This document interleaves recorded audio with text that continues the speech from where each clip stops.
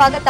ಇಂದು ಕಂದಾಯ ಇಲಾಖೆ ತಹಶೀಲ್ದಾರ್ ಶಿವಕುಮಾರ್ ಇವರ ನೇತೃತ್ವದಲ್ಲಿ ಬೆಳ್ಳಂದೂರು ಇಬ್ಬಲೂರು ಗ್ರಾಮದ ಸರ್ವೆ ನಂಬರ್ ಹನ್ನೆರಡರಲ್ಲಿ ಮುನ್ನೂರ ತೊಂಬತ್ತೊಂಬತ್ತು ಪಾಯಿಂಟ್ ಒಂದು ನಾಲ್ಕು ಎಕರೆ ಒತ್ತುವರಿ ಭೂಮಿಗೆ ನೋಟಿಸ್ ಜಾರಿ ಮಾಡಿದರು. ಹಾಗೂ ಅಗರ ಗ್ರಾಮದ ಸರ್ವೆ ನಂಬರ್ ನಲವತ್ತ್ ಮೂರರಲ್ಲಿ ಒಟ್ಟು ವಿಸ್ತೀರ್ಣ ಮೂರು ಎಕರೆ ಇಪ್ಪತ್ತು ಗುಂಟೆ ವಿಸ್ತೀರ್ಣದ ಒತ್ತುವರಿಯಾದ ಜಮೀನಿನ ಒತ್ತುವರಿದಾರರಿಗೆ ನೋಟಿಸ್ ಜಾರಿ ಮಾಡಿ ಸರ್ಕಾರಿ ಕಾಯ್ದೆ ಅನ್ವಯ ಕೆರೆ ಜಾಗವನ್ನ ಜೆಸಿಬಿ ಮೂಲಕ ಸ್ವಚ್ಛ ಮಾಡಿದ್ದಾರೆ.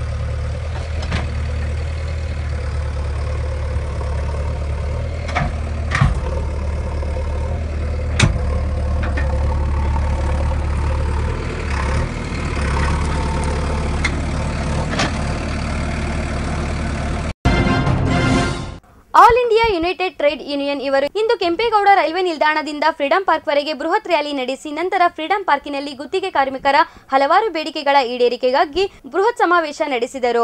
ಈ ಸಂದರ್ಭದಲ್ಲಿ ರಾಜ್ಯ ಪ್ರಧಾನ ಕಾರ್ಯದರ್ಶಿಗಳು ಮಾತನಾಡಿ, ರಾಜ್ಯ ಸರ್ಕಾರದಿಂದ ಮಂಜೂರಾಗಿಯೂ ಖಾಲಿ ಇರುವ ವಿವಿಧ ಕಾಯಂ ಹುದ್ದೆಗಳಿಗೆ ಸೇವೆ ಸಲ್ಲಿಸುತ್ತಿರುವ ಗುತ್ತಿಗೆ, ಹೊರಗುತ್ತಿಗೆ ಸಾಂದರ್ಭಿಕ, ಸಂಚಿತ ವೇತನ, ದಿನಗೂಲಿ ಮತ್ತಿತರ ಹೆಸರಿನ ಕಾರ್ಮಿಕರು ಮತ್ತು ನೌಕರರನ್ನು ಇಲಾಖೆಯಲ್ಲಿ ವಿಲೀನಗೊಳಿಸಿ ಅವರ ಸೇವೆಯನ್ನ ಕಾಯಂಗೊಳಿಸಬೇಕು. ಅದಕ್ಕಾಗಿ ಗುತ್ತಿಗೆ ಪದ್ಧತಿಯನ್ನ ರದ್ದುಪಡಿಸಬೇಕು ಎಂದು ಅವರು ಆಗ್ರಹ ಮಾಡಿದ್ದಾರೆ.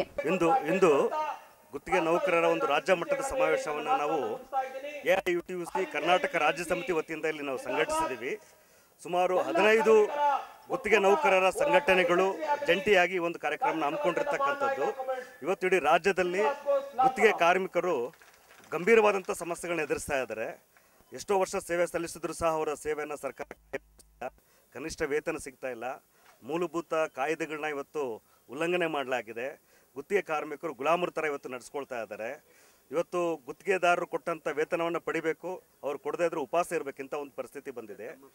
ಸೊ ಇಂಥ ಒಂದು ಸಂದರ್ಭದಲ್ಲಿ ಎಲ್ಲ ಗುತ್ತಿಗೆ ನೌಕರರ ಸೇವೆಯನ್ನು ಕಾಯಂಗೊಳಿಸಬೇಕು ಅಂತ ಹೇಳ್ಬಿಟ್ಟು ರಾಜ್ಯ ಸರ್ಕಾರಕ್ಕೆ ನಾವು ಆಗ್ರಹ ಪಡಿಸ್ತಾ ಇದ್ದೀವಿ ಇತ್ತೀಚೆಗೆ ಸುಪ್ರೀಂ ಕೋರ್ಟ್ ಕೊಟ್ಟಂಥ ಸಮಾನ ಕೆಲಸಕ್ಕೆ ಸಮಾನ ವೇತನ ಜಾರಿಗೊಳಿಸಬೇಕು. ಹಾಗೆಯೇ ಮೂಲಭೂತ ಕಾಯ್ದೆಗಳೇನಿದ್ದಾವೆ ಕಾರ್ಮಿಕ ಕಾಯ್ದೆಗಳು, ಅವೆಲ್ಲವುದನ್ನು ಕಟ್ಟುನಿಟ್ಟಾಗಿ ಜಾರಿಗೊಳಿಸಬೇಕು ಅಂತ ಹೇಳ್ಬಿಟ್ಟು ನಾವು A I U T U C ಸಂಘಟನೆಯಿಂದ ಇವತ್ತು ನಾವು ರಾಜ್ಯ ಸರ್ಕಾರಕ್ಕೆ ಆಗ್ರಹ ಪಡಿಸ್ತಾ ಇದ್ದೀವಿ ಕರ್ನಾಟಕ ರಾಜ್ಯ ಜ್ಯೋತಿಷರ ಹಾಗೂ ಜ್ಯೋತಿಷ್ಯ ಬೋಧನಾ ಒಕ್ಕೂಟ ಇವರು ಮಾರ್ಚ್ ಹನ್ನೆರಡರಂದು ಮಹಿಳಾ ಜ್ಯೋತಿಷ್ಯ ಸಮ್ಮೇಳನ ಆಯೋಜಿಸಲಾಗಿದ್ದು, ಕರ್ನಾಟಕ ಸಂಸ್ಕೃತ ವಿಶ್ವವಿದ್ಯಾನಿಲಯವು ಕೂಡ ಕೈಜೋಡಿಸಿದೆ. ಹಾಗೂ ಈ ಕಾರ್ಯಕ್ರಮ ಭಾನುವಾರ ಬೆಳಿಗ್ಗೆ ಹತ್ತು ಗಂಟೆಗೆ ಪ್ರಾರಂಭವಾಗಲಿದ್ದು, ನಗರದ ಭಾರತೀಯ ವಿದ್ಯಾಭವನದಲ್ಲಿ ಕರ್ನಾಟಕ ಸಂಸ್ಕೃತ ವಿಶ್ವವಿದ್ಯಾನಿಲಯದ ಕುಲಪತಿಗಳಾದ ಡಾಕ್ಟರ್ ಪದ್ಮಶೇಖರ್ ಉದ್ಘಾಟನೆ ಮಾಡಲಿದ್ದಾರೆ. ಈ ಕಾರ್ಯಕ್ರಮಕ್ಕೆ ತೇಜಸ್ವಿನಿ, ಅನಂತಕುಮಾರ್, ಎಂ ಶಿಲ್ಪಾ ಎಸ್ಜಿ ಸುಶೀಲಮ್ಮ ಸೇರಿದಂತೆ ಹಲವಾರು ಗಣ್ಯರು ಆಗಮಿಸಲಿದ್ದಾರೆ ಎಂದು ಅಧ್ಯಕ್ಷರಾದ ಡಾಕ್ಟರ್ ಎಸ್ ಕೃಷ್ಣರವರು ತಿಳಿಸಿದರು.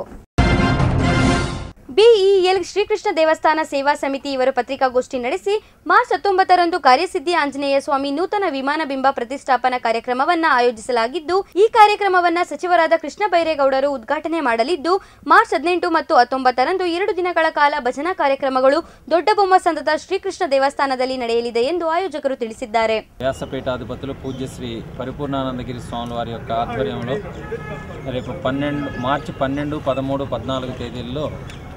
నేషనల్ కాలేజ్ గ్రౌండ్స్ బసవనగుడి ఏరియాలో తొంభై ఒకటవ శ్రీ సనాతన వేదాంత జ్ఞాన సభలు జరగనున్నాయి.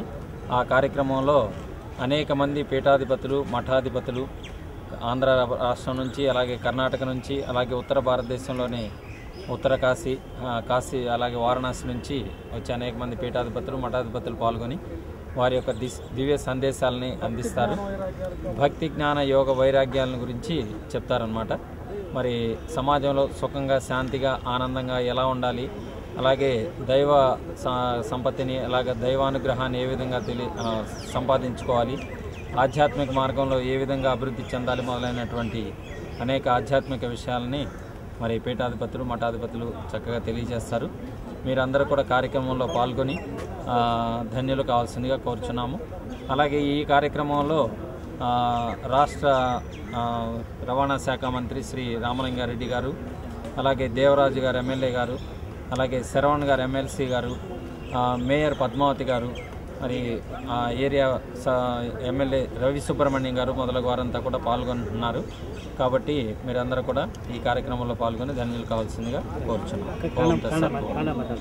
ಏರ್ಪೇಡು ಈ ಜ್ಞಾ- ವ್ಯಾಸಾಶ್ರಮದಲ್ಲಿ ವ್ಯಾಸಾಶ್ರಮದವರು ನಮ್ಮ ಬೆಂಗಳೂರು ಕರ್ನಾಟಕ ರಾಜ್ಯದಲ್ಲಿ ಇವತ್ತು ಈ ಪ- ರಾಜ್ಯ ದೇಶದಾದ್ಯಂತ ಮಾಡಿರ್ತಕ್ಕಂಥ ಜ್ಞಾನಸಭೆಗಳಲ್ಲಿ ಈ ವರ್ಷ ಬೆಂಗಳೂರಲ್ಲಿ ಏರ್ಪಡಿಸ್ತಾ ಇರೋದ್ರಿಂದ ಈ ಒಂದು ಈ ಮನುಷ್ಯನ ಆಧ್ಯಾತ್ಮಿಕ ಚಿಂತನೆಗೆ ಒಳಪಡಿಸೋದಕ್ಕೋಸ್ಕರ ಈ ನಮ್ಮ ರಾಜ್ಯದ ಎಲ್ಲ ಪೀಠಾಧಿಪತಿಗಳು ಆಗಮಿಸ್ತಾ ಇದ್ದಾರೆ.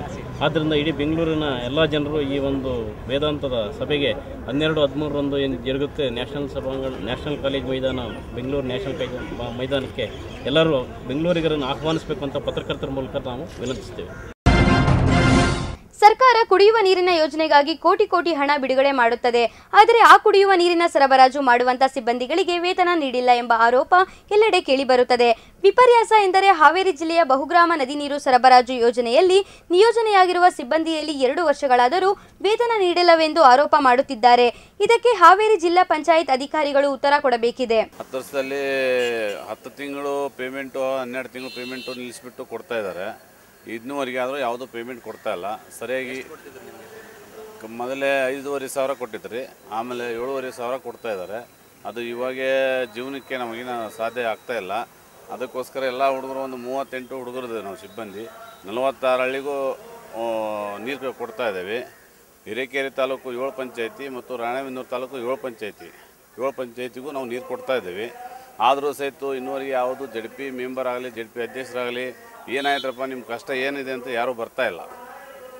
ಇವತ್ತಿಗಾದರೂ ಕೊಡ್ತೇವೆ, ಇವತ್ತಾದರೂ ಕೊಡ್ತೇವೆ ನಾವು ಪೇಮೆಂಟ ಕೊಡ್ತೇವೆ ಅಂತಲೇ ಮುಂದೆ ಹೋಯ್ತಾರ ಹೊರತು ನಾವು ನೀರು ಬಂದ್ ಮಾಡಿಲ್ಲ. ಯಾಕಂದ್ರೆ ಜನರು ನೀರು ಕುಡಿದ್ರೆ ನೀರು ಇವತ್ತು ನಮ್ಗೆ ಆಕಾರ ಅಂದ್ರೆ ಹಲ್ವಾ ಅಂದ್ರೆ ನೀರು. ಪಗಾರ ಕೊಟ್ಟರೆ ಇನ್ನೂ ಹತ್ತು ದಿವಸ ಅಲ್ಲ, ಇನ್ನೂ ಒಂದು ಹತ್ತು ತಿಂಗಳು ಕೊಡಲಿ. ನಮಗೆ ಆಕಾರ ಅಂದ್ರೆ ನೀರು ಬೇಕು.